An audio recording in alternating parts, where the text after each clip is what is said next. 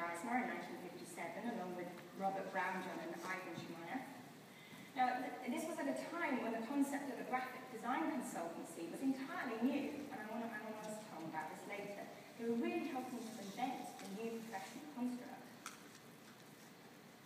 And in addition to those, you know, that incredible reductive capacity of those marks and icons we just saw, there's a more lyrical side to Tom's work, found in posters that evoke human ideals.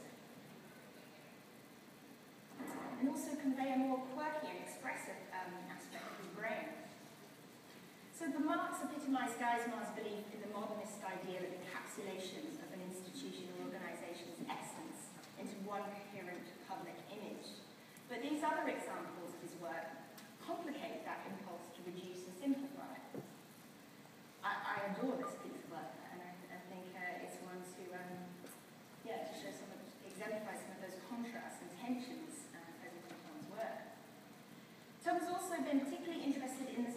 scope that's allowed for in the design of museum environments, um, such as the Star Spangled Banner exhibition at the Smithsonian, the National Museum of American History, and the installation at the Ellis Island Immigration Museum.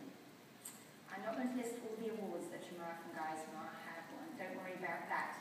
But uh, he, he was notably